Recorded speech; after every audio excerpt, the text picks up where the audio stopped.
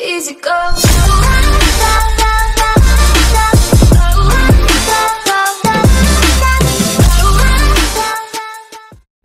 Ok amigos, hay un nuevo suscriptor llamado Fatifer. Saludos, aquí se los dejo arriba. Muchas gracias por suscribirte.